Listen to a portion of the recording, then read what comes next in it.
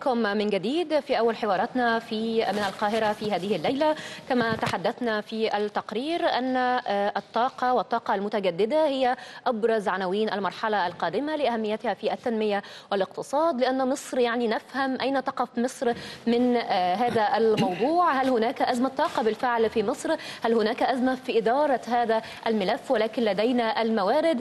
يعني بعيدا عن التنظير وبعيدا عن ما نسمعه بشكل نظري نتحدث مع الخبراء في هذا الموضوع لنعرف على أرض الواقع مواردنا وأيضا ما يمكن أن نستحدثه في الفترة القادمة معنا في هذا الحوار يشرفنا الدكتور ماهر زغلول خبير ماهر عزيز. ماهر عفوا ماهر عزيز, عزيز. خبير الطاقة والبيئة وتغير المناخ وأيضا الدكتور بهاء زغلول أستاذ متفرغ بمركز بحوث وتطوير الفلزات أهلا بكم في معنا في من القاهرة. أهلا بك دكتور ماهر. نبدأ مع حضرتك ورحب طبعا بالدكتور بهاء. هنبدا مع دكتور ماهر لأنه نقطة انطلاقنا عن الطاقة المتجددة. الطاقة البديلة والطاقة المتجددة يعني سمعنا عنها كثيرا في السنوات الماضية لكن أصبحت أمر ملح. في السنوات الحالية لدرجة أنه البعض بيتوقع ربما لا قدر الله تكون سبب يعني نفاذ الطاقة مش الطاقة البديلة أو الحصول على الطاقة ممكن يكون سبب في صراعات ومواجهات بين دول العالم. السؤال الآن هل فكرة الطاقة البديلة من الممكن بالفعل تكون حل للطاقة المعتادة اللي اعتدنا عليها لقرون البترول والفحم وما شابه؟ بالتأكيد الطاقة البديلة تستطيع أن تؤدي دورا عظيما في حل مشكلات الطاقة على مستوى العالم كله مش بس على مستوى مصر. نعم. لكن ما هو المقصود بالطاقات البديلة؟ حضرتك دخلت مع الطاقات البديلة طاقات أخرى لا نستخدمها مثل الفحم والنووي لا لا. كل ما لم ما لا نستخدمه يعتبر طاقات بديلة. يعني نحن لا نستخدم إلا طاقة البترول أو المواد البترولية عموما الغاز الطبيعي والمواد البترولية. فهو مصدر وحيد نستخدمه باستثناء الطاقة المائية. لا نملك من مصادر الطاقة إلا مصدر وحيد هو المصادر البترولية. إذا المصادر البديلة بالنسبة لنا تبقى الطاقات الجديدة والمتجددة طاقة الطاقة النووية طاقة الفحم طاقة الكتلة الأحيائية ودي تدخل تحت الطاقات الجديدة والمتجددة الطاقات الجديدة والمتجددة المقصود بها طاقة الشمسية طاقة الرياح طاقة الكتلة الأحيائية. فده كله بالنسبة لنا يعتبر طاقات بديلة ليست فقط الطاقات المتجددة. أما إذا كان المقصود بالطاقات المتجددة في في استخدام بالطاقات البديلة في استخدام سيادتك لها هو الطاقات المتجددة فحدث ولا حرج. مصر تتطلع بطموح بالغ لاستخدام الطاقة الشمسية. وعندها زخم عظيم في استخدام طاقة الرياح خاصة على المناطق التي تصل فيها سرعات الرياح ما بين 10 إلى 14 متر في الثانية زي خليج السويس وهي أعلى سرعات رياح في العالم. فإحنا عندنا potential أو كمون أو احتمال لتوليد طاقة رياح يصل إلى 20 ألف ميجا وات في, في, في, في أقل التقديرات وممكن يزيد عن كده. وعندنا بقى الطاقة الشمسية مصر تتمتع بإشعاع شمسي عظيم. يعني لو تندهش ويندهش السادة المشاهدين لو عرفوا أن المتر المربع الواحد من الأرض التي تسقط عليها الشمس في مصر يمكن أن يولد 2500 كيلو وات ساعة في السنة. يعني في اليوم الواحد من خمسة لسبعة كيلو وات ساعة على المتر المربع الواحد لكن من رغم, رغم كل الكلام يمكن توليدها. رغم كل الكلام الرائع بتاع حضرتك ده لكن لسه في مشكلة طاقة في مصر. بالتأكيد لأن الطاقات المشكلة هنا بس في التمويل يا دكتور. لا أنا أقول لحضرتك حاجة. البعض يتصور إن إحنا تأخرنا كثيرا في تطبيقات الطاقة المتجددة. اطلاقا. أنا أقول لحضرتك الموقف على مستوى العالم. على مستوى العالم بدأ اهتمام الدنيا بالطاقات المتجددة بعد أزمة 73 بعد بعد نصر يعني أثناء حرب أكتوبر. أزمة بالنسبة لهم هم. واخد آه أثناء نصر يعني الحرب التي حققنا فيها نصر أكتوبر العظيم 73 لما توقف تدفقات البترول للعالم الغربي ابتدى العالم كله يتيقظ إلى إنه لا لا يمكن يحط نفسه في عنق زجاجة ولازم يبتدي في أبحاث الطاقات المتجددة. بدأ الاهتمام بالطاقة المتجددة على مستوى العالم 73 من 73 للنهاردة حوالي 43 سنة تعرف الطاقة المتجددة تشارك في الطاقة العالمية بقد إيه؟ في توليد الكهرباء 1% آه، متأسف على مستوى الطاقة الكلية 1% وفي توليد الكهرباء 3% تقول لي ده 43 سنة تقدمت فيها تقدم هائل. ومع ذلك كان ارتفاع تكلفتها بدرجة فلكية منعت استخدامها وانتشارها إلى حد وبالتالي احتاجت دعم حكومي. في البداية احتاجت دعم حكومي هائل من كل دول العالم. أنت تندهش لو قلت لك حتى سنة 2013 ألمانيا دعمت الطاقة الشمسية في بلادها ب 16 مليار يورو. ادت للناس دعم 16 مليار يورو. ده الكلام ده 2013 واخد بالك؟ ففي دعم حكومي هائل علشان تبتدي تنتشر. مصر استخدامها للطاقة المتج- المتجددة حتى الآن 1% إحنا قريبين قوي من العالم. المستوى العالمي. ليه؟ لأن المحددات زي ما قلت لسيادتك محددات ضخمة وكبيرة. طيب آه، دكتور بهاء يعني آه، كما تحدث وتفضل دكتور ماهر آه، لدينا الموارد لمثل هذه الطاقات المتجددة والجديدة وأننا لم نتخلف كثيرا عن العالم. لكن موقف مصر يعني هل البدائل المتاحة ليها وعلى الأرض. يعني إحنا بنسمع عن الكلام كتير لدينا الإمكانات ويمكن النو هاو هل لدينا النو هاو أو كيفية استخدام ده؟ ومتى سنراه على أرض الواقع؟ وليس نسمع فقط عنه بشكل علمي وحديث. أنا سعيد إن حضرتك ذكرت اتكلمت النو هاو لأن دي أهم حاجة في الموضوع. إحنا الحقيقة بنتكلم كتير جدا عن استخدام الطاقات البديلة والطاقات المتجددة و... وما بنتكلمش في الموضوعات دي إلا ما بتحصل أزمة. صحيح. إحنا فين من زمان عشان نتكلم في هذا الموضوع؟ فإحنا بنتكلم لما بتحصل أزمة وبعدين لو انفجرت الأزمة بننسى الموضوع ده خالص. فحتى لا نتناسى هذا الموضوع حضرتك قلت ال know how إحنا من السهل جدا نمتلك ال know how لإنتاج وحدات إنتاج الطاقة الجديدة. وهنا نربط الفرس أنا مش عايز أبقى user فقط مستخدم فقط للطاقة البديلة. لأن أنا لو مستخدم فقط يعني أكني بحول مصر لبوتيك للصين وألمانيا وإنجلترا وفرنسا يجيبوا ويركبوا ويشغلوا. هنا بقى نقطة ضعف. اللي هتبقى زي طول عمرنا إن إحنا بنستورد بنستورد كل حاجة؟ نستورد المعرفة نستورد ال know how نستورد المعدات نستورد حتى الخبراء بنستوردهم. ليه إحنا ما نعتمدش على نفسنا في إحنا ننتج الوحدات اللي بتنتج الطاقة سواء الطاقة الشمسية أو طاقة الرياح. وعندنا الإمكانيات لهذا. وهذكر على سبيل المثال الطاقة الشمسية في نوعين من الطاقة الشمسية في اللي هي بنسميها ال photovoltaic أو الخلايا الفوتوفولتية وفي ال ال ال الوحدات اللي هي الحرارية الطاقة الشمسية الحرارية. سواء دي أو دي كل معداتها من الممكن جدا تصنيعها في مصر. لو إحنا خدنا الطاقة الشمسية الحرارية اللي بنسميها CSPs دي عبارة عن مرايات إزاز عاكسة و steel يعني آه، صلب يعني الحوامل صلب وبتركب على صلب وفيها شوية موتورات بتلف بتلف مع مع الطاقة مع اتجاهات الطاقة. يعني كلها شغل صلب زي أي شركة هنا ممكن تعمله. والمرايات مصانع الإزاز اللي في- مصر أو يعمل مصانع إزاز جديد لأن هي نوع خاص من الازاز مش نفس النوع اللي بينتج حاليا. نوع خاص يكون نسبة الحديد فيه واطية جدا.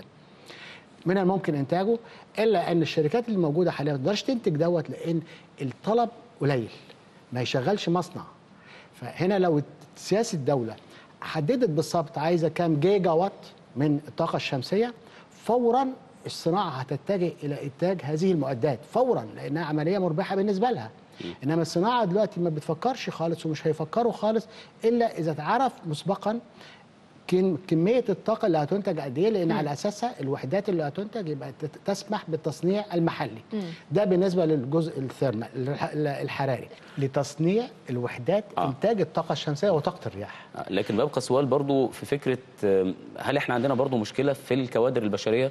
يعني آه، معاهد بحوث أو أساتذة أو طلاب أو ما شابه أو يعني قامات كبيرة زي حضرتك وزي دكتور ماهر آه، هو يعني الكوادر ولا البشرية- ولا الكادر البشري موجود؟ لا موجود هو- الحمد لله موجود وبكثرة بس بكل أسف موجود في البحث في البحوث سواء في الجامعات أو في المراكز البحثية بيشتغلوا عدد كبير جدا من البحاث والاساتذه بيشتغلوا في هذا المجال لكن بكل أسف لأن ما فيش إنتاج صناعي فكل واحد بيشتغل في اتجاه يعني بس ده مش مختلف حاسينه أو. لامسينه يا دكتور يعني إذا كان فعلا موجود موجود لسبب. موجود المعاهد ديت والناس بتشتغل آه موجودة. وبتطور ما هو أذكر بالأسامي مدينة آه، البحوث والتكنولوجيا في في برج العرب آه، الجامعة الم- اليابانية المصرية الجامعة البريطانية لا جامعه أنا قصدي أنا قصدي دكتور حتى. حتى الدولة إن لم تكن قد حسمت قرارها واتجهت آه، تجاه ده. قاعدة علمية لكن مثلا مراكز البحوث أو. الجامعات أو أو ما شابه الوكالات بكل- المتخصصة. ما شفناش مثلا تجربة عملتها في بعض القرى أو بعض البيوت. أنا قريتها بال- بالطاقة الشمسية مثلا على حاجة. لا، أو لا. طاقة الرياح أقول لحضرتك على حاجة جامعة القاهرة عملت وحدة كاملة للطاقة الشمسية الحرارية موجودة في آه، كلية الهندسة في الشيخ زايد موجودة واشتغلت وشغالة دي تجريبية. وكل التصميم هم اللي عملوا بيه اساتذه كلية الهندسة جامعة القاهرة وعملوا شغالة وحضرتك يا ريت تاخدوا الكاميرا وتصوروها هناك. شغالة. التصميم من ألف للياء بتاعهم التنفيذ كله صناعه محلية وموجودة في مدينه في آه، قسم إعدادي لجامعة كلية الهندسه جامعة القاهرة في الشيخ زايد في غيرها في برج العرب في غيرها في الجامعة البريطانيه يعني لا ما الكوادر خ- ما خرجتش للناس ده مش هتخرج الناس لأن دلوقتي دي سياسة تصنيع الجامعات ما بتصنعش الجامعات ما بتنشئش مصانع. إنما الكوادر العلمية موجودة التكنولوجيا موجودة الخبرات موجودة مطلوب بقى إن إحنا يبقى الدولة تركز على إنها تخش في مجال التصنيع والدولة سواء الدولة سواء القطاع العام العمال العام أو القطاع الخاص. حقيقة الأمر القطاع الخاص مش هيخش دلوقتي في منطقة في في مجال التصنيع فاللي يقدر على إنه يخش دلوقتي اللي هو الدولة ممثلة في قطاع العمال العام.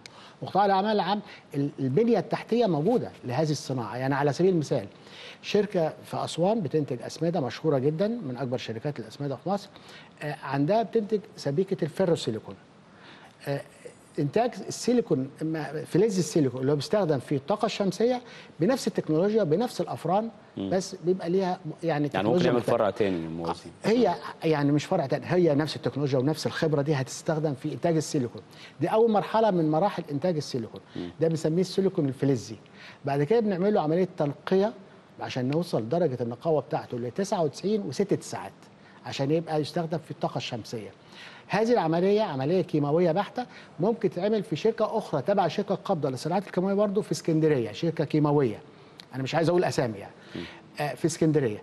هذه التكنولوجيا تعتمد على وجود غاز الكلور وحامض الهيدروكلوريك والهيدروجين موجودين موجودين بكثرة في هذه الشركة وعنده فايض.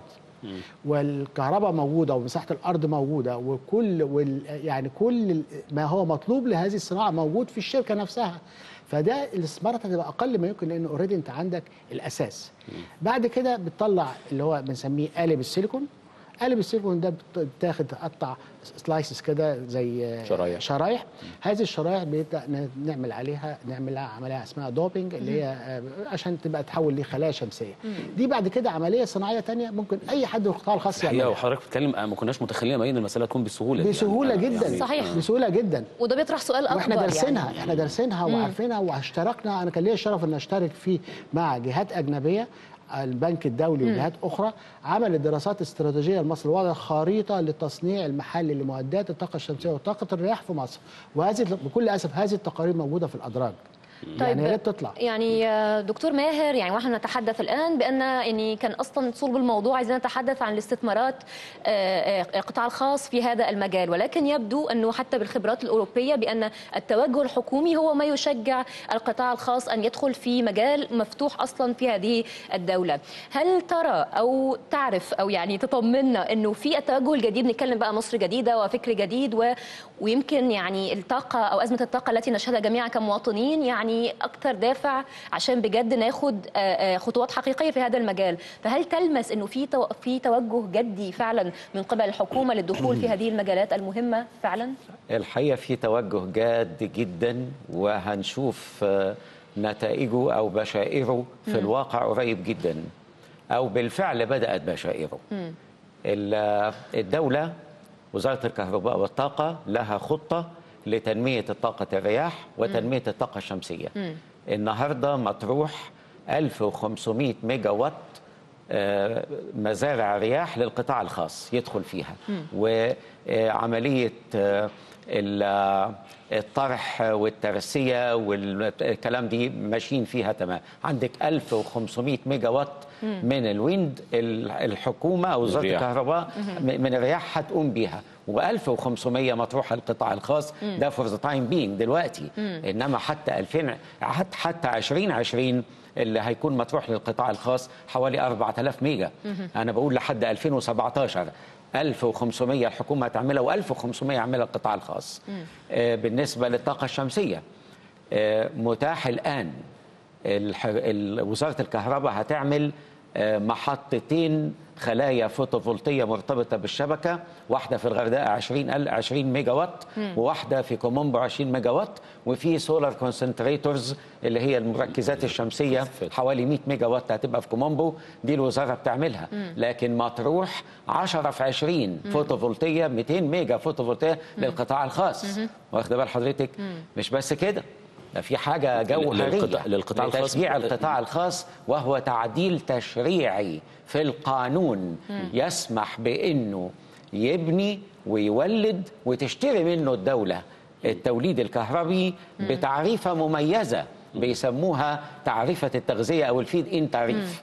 التعرفه التغذية دي هي تعريفة أكبر من التعريفه اللي بتتعامل بها وزارة الكهرباء علشان تشجع المستثمر إنه يمضي في هذا السبيل ويطور يمكن ده؟ ده ده السؤال اللي كنت اساله لحضرتك فكرة دخول القطاع عملته الخاص ألمانيا آه. وفي- في حاجة. اسمها صندوق الطاقة طب لحد. لما يحصل التشريع ده. هيمكن شركه شركه الشركة المصريه لنقل الكهرباء من شراء آه، الإنتاج الآتي من الطاقة المتجددة من القطاع الخاص بتعرفه التغذية. الكلام ده تشريعيا بيتم الآن. طيب لحد ما نوصل لما نوصل بيتفتح. 2020 والتعديلات أيوة. التشريعية دي تحصل والقطاع الخاص يبيع ال- الكهرباء. لا التشريعات دي هتصدر خلال آه، طب هو هيشارك آه، هيشارك في شهور قليلة. آه يعني فعلا هو هيصنع ويبيع أو هيولد الكهرباء ويبيع. بص مفتوح له المجال إن هو ينشئ المحطات. قد يستوردها وقد يصنعها. أنا آه عايز بس آه إيه العائد على- إيه- على كلام إيه العائد هيرجع على دكتور؟ زغلول آه أقول لحضرتك إحنا بالفعل في إحنا عندنا المصانع الحربية إحدى القلاع العظيمة في مصر للتصنيع. ففي مصنع أنا برضو جريا على النهج مش هقول الاسم لكن في مصنع الآن من المصانع الحربية ينتج الخلايا الفوتوفولتية. طب كويس. وعرضها في معرض تم في الأقصر. وشفناها بعين بعينينا وشرحوا لنا عشر خطوات لإنتاج الخلية الفوتوفولتية في النهاية و- وعارض نماذج من إنتاجه. هو لعل البعض- مصر تصنع الآن. لعل البعض بيعتقد إنه هذه التكنولوجيا حكر على دول بعينها ربما يعني كانت حكرة. لا، لا، كانت. فيها. ولكن الانتشار التكنولوجي وانتشار المعرفة واخد بال حضرتك والكوادر الممتازة, ممتازة. التي. تعلمت أنتوا كلامكم كلامكم مطمئن جدا طب يا. دكتور بهاء في في ظل هذا الحديث المطمئن آه، بيتضاءل الحديث عن فكره توليد الكهرباء من الطاقة النووية يعني ملوش لازمة لا، بقى نتحدث عن. مفاعل يعني مش عايزين نخلط الخيوط ببعض لا أنا أنا. قصدي إنه البعض بيتخوف من المفاعلات النووية رغم إنه بيقولوا إنها الأمثل والأرخص والأقدر على توليد طاقة كهربائية بكميات كبيرة لكن الغلطة فيها بيكون لها تبعات سلبية آه، كثيرة من هنا يعني- بيأتي التخوف آه. وفكرة حتى النفايات اللي بتنتج عنها ففي ظل الكلام الرائع ده ملوش لازمة بقى نتكلم عن مفاعلات نووية لا ما أقدرش أقول ما أقدرش أقول ملوش لازمة. كل حاجة ليها. كل حاجة ليها يعني آه وضعها. يعني المفاعلات النووية بس انت عشان تتقرر النهارده وتبدأ تمضي العقد النهارده عشان مفاعل نووي مش قبل 8 سنين هينتج. يعني مش قبل 8 سنين يبدأ ينتج. آه، من 8 ل 10 سنين. وبعدين تكلفته ال- ال- يعني الاستثمارية عالية نسبيا. أما المخاطر إحنا ليه ما نتعلمش؟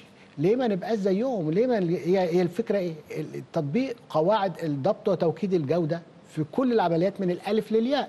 وإحنا فعلا تعلمناها في في الست في الستينات وفي السبعينات والثمانينات وكان عندنا هيئة الطاقه الذريه ربت كوادر على أعلى مستوى والعلم حضراتكم إن هذه الكوادر بتعمل في كل العالم دلوقتي لأن لما توقف فكرة المفاعل كلهم هاجروا واشتغلوا في يا إما الهيئة الدولية للطاقة النووية أو اشتغلوا في بلاد أوروبية أو أمريكية أو أو حتى في اليابان على أعلى مستوى من الخبرة الممكنة. يوم ما هنقول هنشتغل الناس دي هترجع كلها وتشتغل زائد إن إحنا نبدأ نربي كوادر جديده فعملية إن أنا أخاف النهارده مع ال- التقدم التكنولوجي والتقدم العلمي كل حاجة ليها محسوبة بالملي. يعني حاجة في حاجة اسمها دلوقتي في الجودة اسمها zero defect يعني يعني صفر آه مخاطر. فشل آه. مخاطر صفر مخاطر. إحنا لازم نتعلم هذا حتى في الصناعة العادية التقليدية. عشان نصدر وعشان نبقى بلد صناعية ما كناش ثقافة الجودة ضبط وتوكيد الجودة. لازم تبقى عندنا. وهي ما تبقى عندنا أنا إيه اللي يخوفني من زي زي أي دولة تانية. زائد عندنا المناخ يسمح بذلك. يعني إحنا ما. عندناش زلازل. آه. عندنا يعني آه، أرض مستوية. عندنا الحمد لله ربنا مدينا طبيعة من أحسن ما يمكن. صحيح. مم. دكتور ماهر عايز يعقب عنه آه، أنا عايز أعقب على السؤال ده. لا يمكن أن تقوم الطاقة المتجددة مقام الطاقات الأخرى كالطاقة النووية وطاقة الفحم وطاقة ال- الغاز الطبيعي أو المنتجات البترولية. ليه؟ في عيبين رئيسيين يرتبطان يرتبطان عيبان رئيسيان يرتبطان بالطاقة المتجددة. أول عيب إنها متقطعة. فانت عندك الشمس من سبعة صباحا لستة مساء مثلا في أقصى التقديرات وبعدها تنقطع ما فيش شمس من ستة لسبعة صباحا تاني يوم. من ستة مساء لسبعة. كمان ممكن يبقى عندك رياح تولد لك 300 ميجا دلوقتي وبعد ساعة واحدة. طب. يبقى عندك رياح تولد لك 3 ميجا. وبعد ساعتين 200 ميجا. وبعد ساعة 4 ميجا. واخد بالك العلم إيه، العلم ما وصلش ما تطورش في فكرة تخزين الطاقة. آه، في دكتور. ما أنا تخزين، هقول آه، لك تخزين. مش بس متقطعه ما أنا هقول لك التخزين. مش بس متقطعة مترجحة. زي ما اللي هي متذبذبة كده. آه. آه. ممكن تطلع الساعة 7 ضعيفة. وتقوى تقوى تقوى توصل للساعة 12 ال maximum. وبعدين تنزل تنزل تبقى zero على الساعة 6 فمترجحة ومتقطعة ولذلك لا يمكن إنك تعتمد عليها لوحدها إذا أنت تحتاج للتوليد الجسيم زي الطاقة النووية والطاقة وطاقة الفحم. أنا أقول لك ألمانيا فيها 33 ألف ميجا وات طاقة شمسية فوتوفولتية. قد القدرات المركبة في مصر كلها. عارف مساهمتها في مزيج الكهرباء المولدة. قد إيه؟ أربعة وستة من عشرة في المية. التلاتة وتلاتين ألف ميجا وات دي لا تولد لها إلا أربعة وستة من عشرة في المية من إجمالي الطاقة الكهربية. بتاخد الباقي منين؟ خمسة وأربعين في المية من الكهرباء مولدة بالفحم. عندها محطات نووية. عندها آه، آه، بعض الأنواع الأخرى لكن ال- الجسيم عندها اللي شايل اللي شايل الحمل الكهربي كله 45% مثلا من الفحم زائد أنا مش عارف النسبة النووي لكن حوالي أكثر من 15 20% فاذا أنت لا يمكن تغنيك الطاقة الم... لكن الطاقة المتجددة تستطيع أن تشارك حتى 20 أو 30% يعني مصر تتطلع سنة 2017 أنا قلت لك النهارده في الكهرباء مشاركة الطاقة المتجددة ما تزيدش عن 1% إحنا تقريبا نتطلع 2017 تبقى 6 و3 من 10 في المية. لو 2030 العالم كله عنده حلم إن يصل بالطاقات المتجددة 2030 ما بين 20 إلى 25% هي دي بالظبط النسبة. مصر بقى محتاجة حوالي 15% نووي. عايزة حوالي 25% فحم عايزة حوالي لو عرفنا نوصل ل 20% طاقة متجددة يبقى هايل ننزل الغاز الطبيعي من 92% ينزل ل 25% عشان نوفره لبقية صناعة. الاستخدامات صناعة. انت عندك المزيج لازم يتعدل بس لازم يبقى في مزيج مفيش حاجة اسمها ابدا إن الطاقة المتجددة لأن اذيع خطأ ونشر خطأ من كثيرين. تحدثوا عن الطاقة المتجددة إنها هي الحل. السحري. تضغط على زر تنزل لك الشمس وتعبي صحيح. الشمس في أزايز. صحيح. مش ممكن. آه، لا- لازم لما تقول الحاجة قولها في ال- ال- السكوب ال- الكبير بتاعها يبان حجمها. يبان حجمها. وده حجمها زي ما قلت لسيادتك على مستوى العالم وعلى مستوى دولة زي أم- واحدة من الدول اللي مشيت في الطاقة الشمسية والطاقات المتجددة كتير قوي. أمريكا عندها 12% طاقة متجددة في وسط المزيج لكن عارف الشمس فيها تساوي إيه؟ اتنين من عشرة من الواحد الصحيح في المية. آه بس عشان الاثنين من بس عشرة دي الناس- تشكل قد إيه؟ النسبة- كام جيجا؟ النسبة آه، ضئيلة مهما جدا. آه، آه. مهما كانت كبيرة لكن في وسط المزيج الكلي صغير. اتنين من عشرة من الصين عندها نفس النسبة اتنين من عشرة من واحد صحيح في المية وعندها أمل سنة 2040 توصل لاتنين في المية أنا بس عشان الناس تبني تصورات سريعة إذا مصر مصر لازم تبني الوحدة النووية الأولى فورا وتدخل بعدها بثمان طبعا. بثمان تسع وحدات يعني الخطة المستقبلية لمصر يجب أن تشتمل على من 8 ل 10 مفاعلات نووية صح. من 10 ل 15 محطة فحم. عايز تجيب من ده- ده النووي لحد 2020 حوالي 14000 ده, ميجا. ده ال 2020 آه يا لحد دكتور؟ 2030 عاي... لحد حتى 2030 مصر عايزة إحنا عندنا 30000 ميجا أو 33000 ميجا. عارف لحد 2030 عايز تضيف حوالي 75000 ميجا. تجيبها منين ال 75000 ميجا؟ بالصراحة. لو لو عملت 15% من الطاقه المتجددة أو 20% أنت لسه عايز توليد جسيم. فبنقول حوالي مثلا من 12 ل 16 ألف ميجا وات من النووي أنت عايز تقريبا حوالي 20 ألف ميجا وات من ال- الفحم وهكذا. فأنت لازم تنوع بسرعة جدا سلة الطاقة صحيح. وتفتح على كل الخيارات. طب دكتور بهاء يعني انطلاقا مما ذكره الدكتور ماهر الآن فكرة المزيج والتنوع في الطاقات الحالة المصرية. إيه ال- ال- المزيج الأمثل؟ إذا صح يعني القول وإحنا في الحالة حالا يعني من من انطلاق الآن. إيه أكتر مجال مفتوح في مصر فعلا سواء بتوجه حكومي وبالتالي تشجيع الاستثمارات بتاعت القطاع الخاص في هذا المجال؟ هو زي ما قال ماهر بيه هو المزيج ده لابد منه. وبرضه ماهر قال إن الطاقة مشكلة الطاقة الشمسية أو طاقة الرياح إن هي متذبذبة. طبعا عملية الذبذبة ليها حلول علمية وتكنولوجية بس اتكوست يعني مكلفة. مكلفة بترفع من جداً. بترفع من سعرها. صحيح. إنما إحنا عندنا برضه فرص فرصة أخرى هايلة جدا. لو أحسن استغلالها أنا هبقى كسبان. اللي هي إن أوروبا عندها مشروع كبير جدا طموح اللي هو إن تاخد تستورد الطاقة الشمسية من شمال إفريقيا كله. وبيسموه المشروع الديزرتيك اللي هو آه، تكنولوجيا الصحراء. وهي رصد مبالغ مهولة لهذا المشروع. وفعلا تم يعني الجزائر بدأت آه، آه، المغرب بدأت. أعتقد تونس يعني في, في, في داخلة في الموضوع. وإحنا المفروض نخش وهي فضل وحتى خط الشبكة تقريبا وصلت بين يعني في شبكة موجودة لتصدير الكهرباء. إحنا لابد نخش في هذا المشروع ونبقى شركاء فيه وده هيبقى محتاج جهود مضنية من وزارة الخارجية وزارة التعاون الدولي وزاره الصناعة وزاره الاستثمار كل الوزارات. وإحنا مشكلتنا في مصر إن إحنا بنشتغل في جزر منعزلة. عشان تحل مشكلة الطاقه في مصر ما هياش مشكلة وزارة الكهرباء خالص لوحدها. وزارة البترول وزارة الكهرباء وزارة المالية اللي لازم توفر ال- العملة الصعبة عشان تستورد الغاز والبترول أو تسدد الفلوس اللي علينا للكذا الجمارك عليها دور آه، آه، البيئة عليها دور. كل هذه الوزارات عليها دور مهم جدا. لابد أن تعمل معا في كيان واحد عشان نحط نخطط لاستراتيجية متكاملة للطاقه في طيب مصر لأنه لأنه الوقت بيمضي سريعا وفي جزئية مهمة لابد أن نلتفت إليها لعل الدكتور ماهر أشار إليها في ثنايا حديثة. فكرة انه الطاقة المتجددة طاقة متأرجحة ما تقدرش تضبطها بإيديك. بس التكنولوجيا التكنولوجيا بتتغلب عليها. بس دي. هنا نقطة لازم نلتفت إليها آه، دكتور بهاء وفكرة إنه التغيرات المناخية، إحنا دلوقتي بنسمع إنه في ذوبان جليد وفي غازات بتنبعث. من هذا الذوبان فبتؤدي لارتفاع درجة الحرارة بشكل غير متوقع. هذه التغيرات المناخية بشكل أو بآخر ممكن تأثر على كل الكلام الجميل اللي حضراتكم قلتوه ده، يعني فجأة تكتشف إنه ده آه، فجأة لا يمكن الت- التحصل يعني- عليه مع التغيرات المناخية الرهيبة آه، أو السريعة أو الحادة. يعني إذا كان هناك تأثير فمش هيبقى سلبي بدرجة إنها تقول لا أنا مش هعمل ده بالعكس يعني يعني وبعدين التكنولوجيا بتتغلب لا هو الخوف انت مش ما, ما تعملش ان انت ما تلاقيش. يعني ما تلاقيش إيه لا هتلاقي. ما تلاقيش مثلا طاقة رياح مثلا ولا الشمس هتنعدم من مصر مش هيحصل. الرياح هتنعدم من مصر مش هيحصل. يعني ال- المصدر الرئيسي للط- للطاقة الطاقه الشمسية وطاقة الرياح هيفضل موجود. هو إذا كان هناك هيبقى ارتفاع نسبيا في درجة الحرارة أو انخفاض أو في الرطوبه أو انخفاض نسبيا في سرعة الرياح أو أو إنما موجودة عمرها ما هتنتهي. يعني التغيرات دي بتفرض تحديات أكبر ولكن لا تمنع يعني لا تمنع. آه، دكتور لا. ماهر. آه. لا ده أنا عايز أقول حاجة تانية.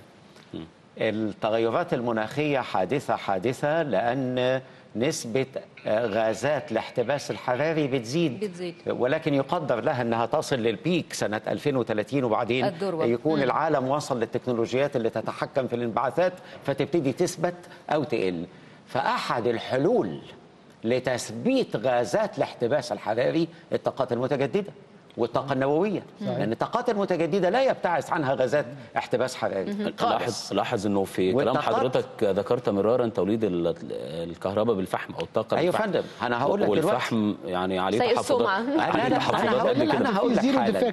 أنا هقول لك حالا. والطاقة النووية لا يبتعث عنها غازات احتباس حراري. الفحم كان أكثر وقود أحفوري يبتعث عنه غازات احتباس حراري. ولكن لما اترفعت الكفاءة من من من 38% كفاءة المحطات ل 52% نزل ابتعاثات غازات الدفيئة من الفحم إلى أقل من الغاز يعني الطبيعي. بتكنولوجيا الفحم لا يزال إلى إلى أقل من الغاز الطبيعي. جدا. في تكنولوجيا تانية دلوقتي اسمها carbon capture and storage اقتناص الكربون وتخزينه بيرشحوها إنها تبقى مترادفة مع محطات الوقود الأحفوري بصفة عامة عشان تاخد وتنزع صحيح. ثاني أك- أكسيد الكب- الكربون. اذا هذه الطاقات خصوصا البديلة لها دور عظيم في حماية العالم صحيح. من زيادة غازات الاحتباس الحراري. أنا عايز بس أضيف حتة صغيرة. في عجالة. عجالة آه. الطاقة المتجددة زي ما قلت عيوبها الترجح والتقطع. آه هذه يمكن معالجتها بال technology زي ما أستاذنا الفاضل قال آه بنظم التخزين. لكن نظم التخزين النهاردة بترفع تكلفة الكيلو وات ساعة إلى أكثر من 35 مرة تكلفتها اللي إحنا بنستخدمها النهارده 35 ضعف لو استخدمت نظم التخزين فعليها constraints أو عليها محددات كبيرة قوي لكن إذا كان في مشروع زي الخطة الشمسية المتوسطية اللي أوروبا حاطة لها حوالي 1 تريليون 1 تريليون Yeah. يورو فإحنا ممكن يجي حد ينشئ المحطات دي. بنظم التخزين آه. وياخد نص الكهرباء المولدة ويدينا النص بتاعنا واخد؟ زي البترول. ما هو بيجوا ويحطوا فلوسهم ويطلعوا البترول وياخد 40% ولا نسبة معينة نظير التكاليف اللي حطها وناخد إحنا لأنها أرضنا ومواردنا ناخد إحنا الباقي. ممكن ده. يتم في المحطات الشمسية, الشمسية. يجي بفلوسه كلها ويعمل نظم التخزين. ويدفع كل اللي عايزه ياخد نص الكهرباء ويدينا نصها عارف يا ياخد ثلاث. عايزة تحرك كل الوزارات المعنية، عايزة الاراده والتعاون الدولي. وعايزة والتنسيق و- بين وعايزة الجهات. الليجسليشن عايزة التشريعات. عايزة حاجات كتير يعني إحنا بنشكركم جدا وشاكرين حتى على الصورة طاقة الصورة- أمل مشروطة يعني في هذا يعني المجال. بس لو لو المطمئنة. النيات توفرت النيات وال... صحيح. ما بنقول مشروطة عشان مشروطة، كده آه. بالتنسيق ووجود الإرادة عايزين شكرا ليك دكتور ماهر عزيز خبير الطاقة والبيئة وتغير المناخ. شكرا وجودك معنا والشكر موصول لك دكتور بهاء زغلول وأنت أستاذ متفرغ من مركز بحوث وتطوير الفلزات. شكرا وجودكم معنا في من القاهرة.